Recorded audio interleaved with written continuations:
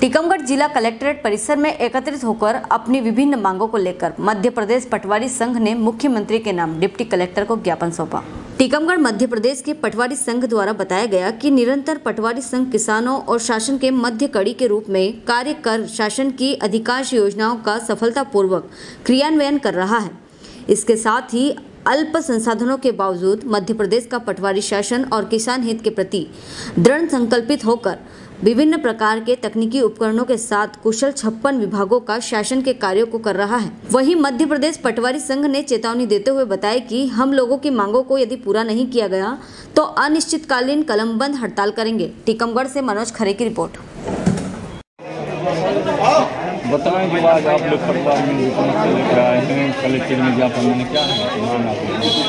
आज पूर्व निर्धारित कार्यक्रम के अनुसार प्रदेश व्यापी हड़ताल के लिए ज्ञापन दिया गया है, जो सात तारीख से, सात जुलाई से क्रमबद्ध तरीके से शुरू होगी, जिसमें हमारी विगत कई वर्षों से हमारी मांगों को पूरा नहीं किया गया। उनके लिए हड़ताल का कार्यक्रम में रखा गया।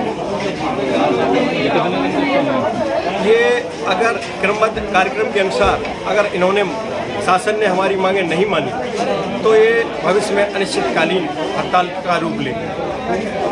सर, बताएँ जो पटवारी संघ के लोगों ने ज्ञापन दिया है, क्या है उनकी मांगें और क्या है? ये मध्य प्रदेश पटवारी संघ के द्वारा जो है पूरे राज्य स्तर पर एक आंदोलन के रूप में हड़ताल घोषित की गई है, जिसमें उनके द्वारा कुछ मांगे रखी गई हैं, जिसमें उन्होंने एक पूरा प्रारूप तैयार किया है, दिनांक समय पर, कि आज पूरे मध्य प्रदेश राज्य में उनके द्वारा हर ज़िले में जो है कलेक्टर महोदय के ज्ञापन दिया गया है, मुख्यमंत्री जी के नाम।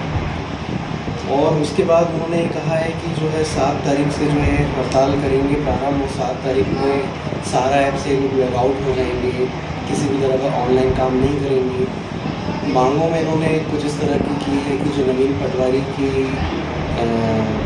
भर्ती होनी है उसमें सी सी टी को हटाने के लिए उन्होंने कहा है। उसके अलावा जो है समयमान वेतनमान बढ़ाने के लिए उन्होंने कहा है। इनकी तनख्वाहें जो इनके कार्य के समतुल्य नहीं है जस्टिफाई नहीं करती तो इनकी मांग जो है कि इनकी तनख्वाहें जो है उसमें वृद्धि हो।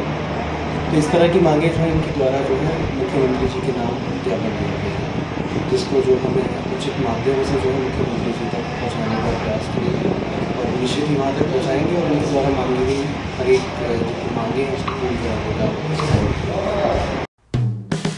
हेलो फ्रेंड्स आप देख रहे हैं हमारा channel S W twenty four news हमारे सारे वीडियो सबसे पहले देखने के लिए आप हमारे चैनल को सब्सक्राइब करें और पास में लगे बेल आइकन को दबाना बिल्कुल भी ना भूलें।